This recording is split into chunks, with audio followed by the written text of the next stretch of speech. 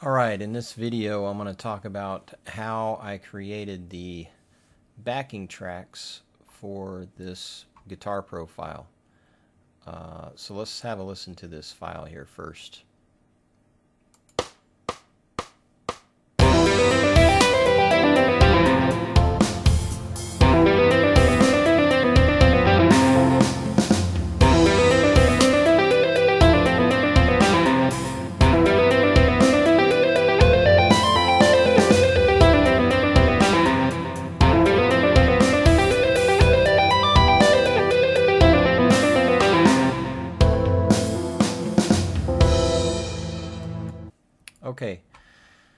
So I used Band in the Box to generate a bass line and piano right here, pad synthesizer, and the drums. So how did I piece all this together? So that's what I'm going to talk about. So we pull up uh, Band in a Box. Uh, the first step is you want to choose a style or a groove that you think would fit with uh, you know your your piece.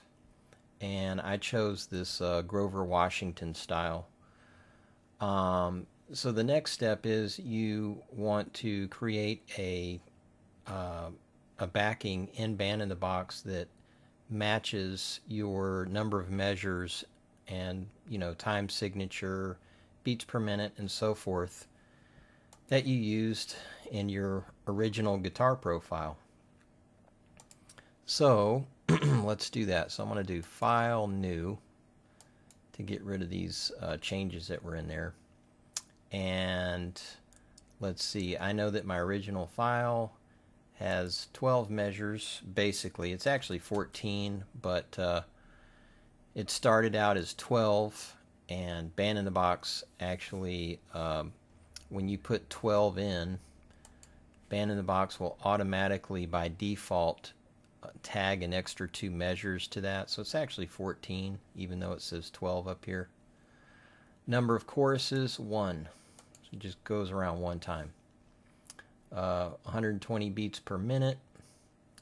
Course, time signature, 4 4, and so forth. Now, so, uh, you know, see, 120 beats per minute and we've got basically 12 measures.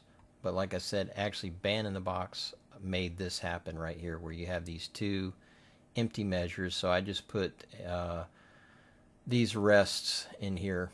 Uh, it worked out. Uh, so you'll see what I'm talking about as we go along. Alright so the chord progression. And I'll talk about the um, you know music theory part of this stuff later. This is just the technological part, if you will. So, um, getting back to Guitar Pro, excuse me, Band in the Box, we're going to input in this progression. It's actually a F Lydian progression. E minor over F to F. So we'll come back here to Band in the Box and we'll do that. E minor over F, enter, go to measure 2, F, enter, whoops, E minor over F, enter, and F. Now what I can do, enter, is just copy this, right click, copy, and then come down here, paste, and paste. And let's see, I can get rid of that not really sure why uh, or what would happen if I left those markers there, um, but usually that's kind of how I do this. And with this particular fusion style, you have two different uh, variations. You got the A variation and the B, and I went with the B when I created this originally.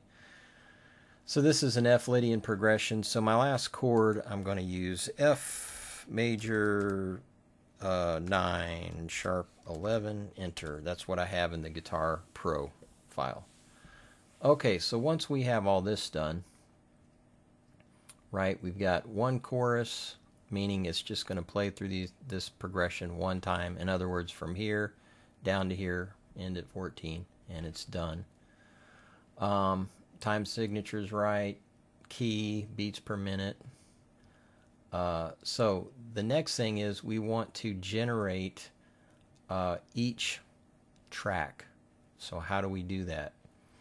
First of all, you know, if we were to just go over here to MIDI and have it, you know, generate a MIDI file right now, it would put all that MIDI information on one track. We don't want to do that.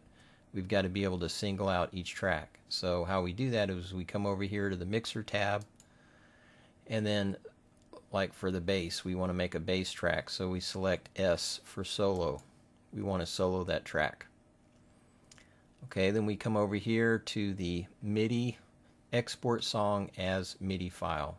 Then we select that. And then file on disk. Select this. And then name it what you want. Make sure it's in the folder that you want and so forth. Like you could name it bass and maybe already have a folder in a specified location, you know, that uh, is designated what you want. And so you're going to do that for every track you want to create. So if you want to create electric piano, you go here and you click on S to solo the electric piano. Click on MIDI, file on disk, and so forth. And just go through each one. Now, I just uh, created a MIDI file of bass, electric piano, drums, and warm pad. So once I've generated all that, uh, and you know those MIDI files are now saved in a folder. Then I come back over here. Now, let's pretend these other tracks are not here. How we would add a track to our uh, original one track file, if you will, is you just simply come over here to the plus and you know click on this plus icon and it brings up this dialog box. So for bass, we would select stringed and then select uh, you know bass here and then what kind of bass you want. I chose electric.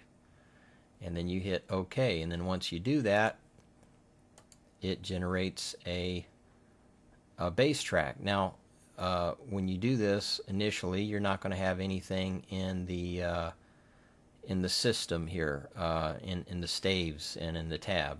It's going to be blank. Uh, and so you keep going with that. You you hit your plus and then now you want say a piano track. And so you go to orchestra then you select keyboard and then electric piano and you hit OK. That'll create your piano track. And then for pad synth again you're going to hit plus. And you know you go to uh, synth this time you know orchestra synth and then pad and then you hit OK and then obviously when you go to do the drum track you just select drums and so forth. So now let's pretend here that we've got all these tracks but nothing in them. You know, they'll be like uh, systems, you know, the music staff and stuff, but nothing, uh, no notes in them. So how do we get the notes in them? Okay, so what you do is you go up here to File, and then you go to Import MIDI.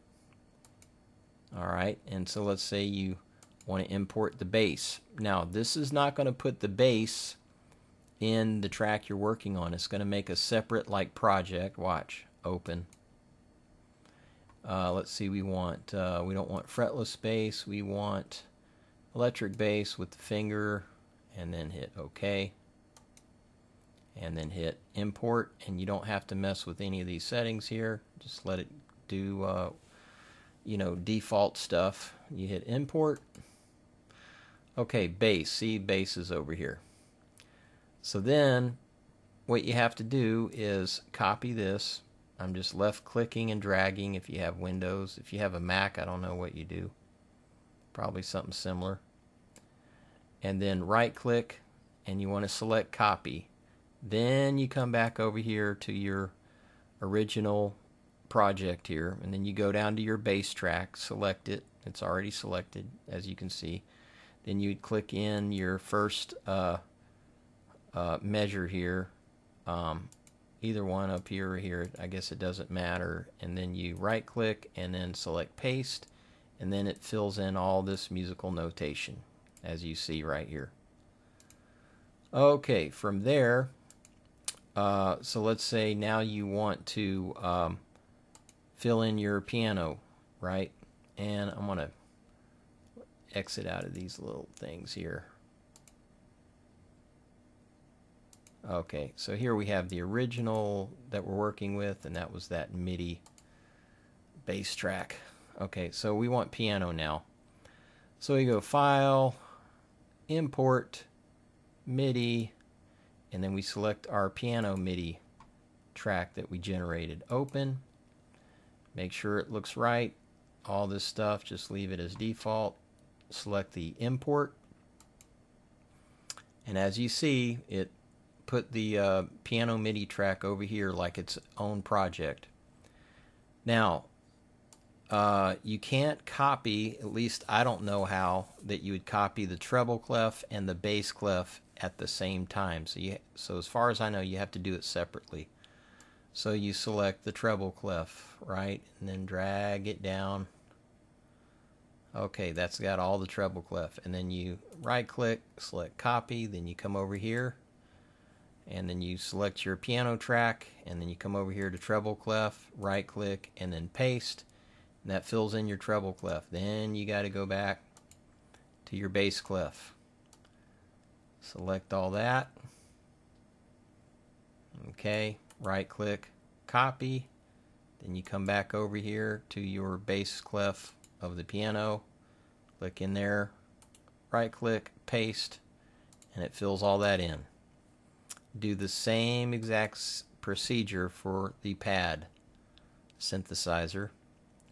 And for the drum kit, you know, it's pretty simple. You know, like I'll show you file, import, MIDI, and you'd select drums and leave everything as default, import, and you just simply highlight that. It's real easy.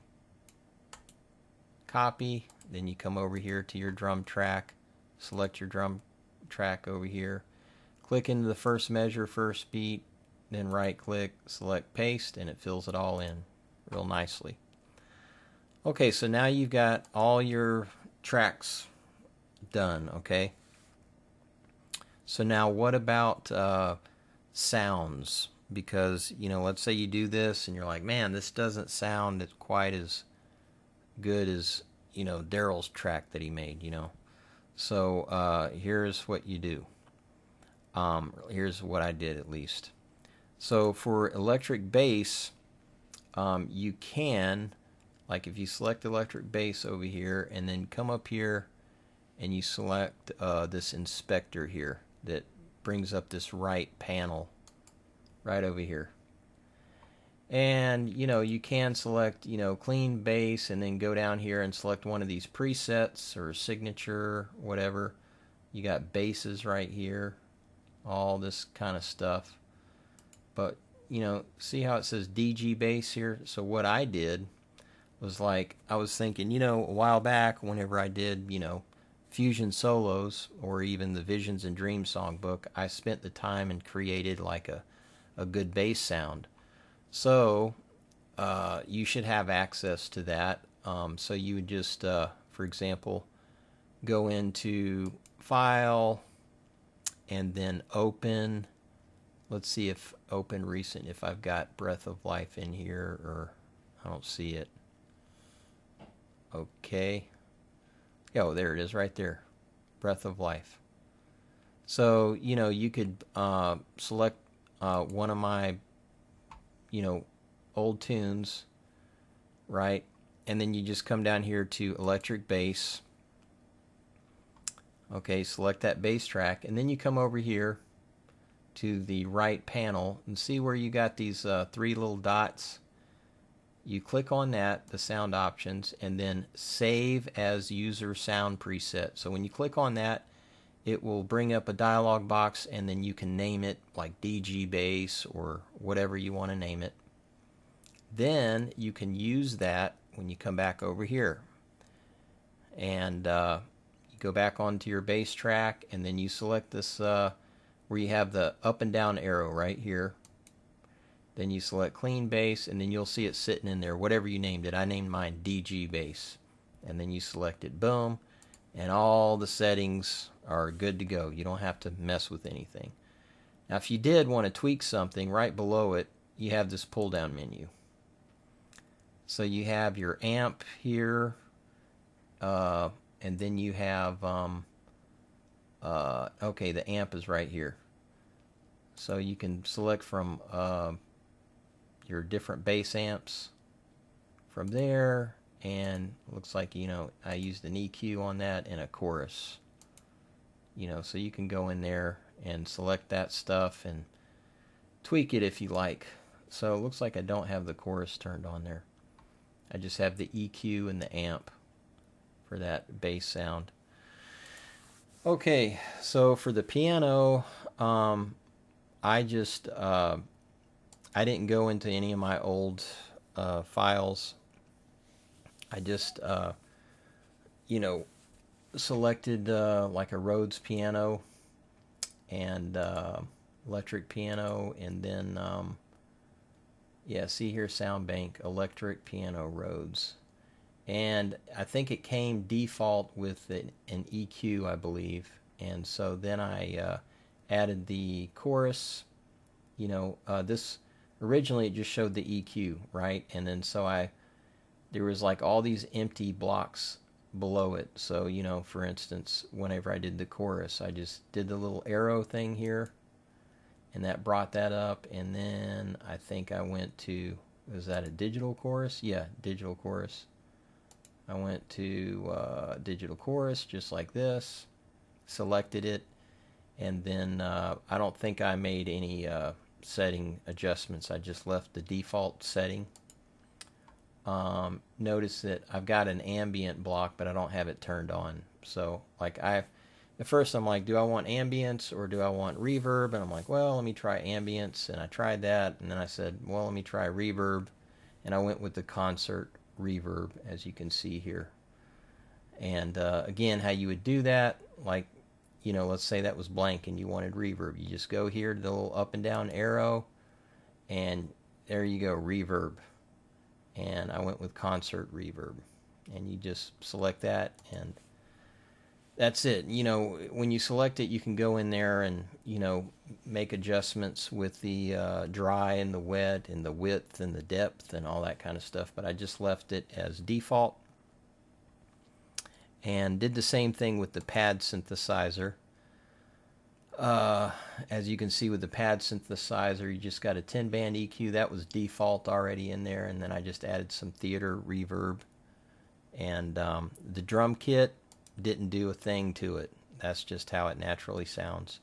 And then I panned the electric piano like uh, to uh, what 10 o'clock and the pad synthesizer to uh, 2 o'clock just to uh, open it up a little bit and so that is how how I did that.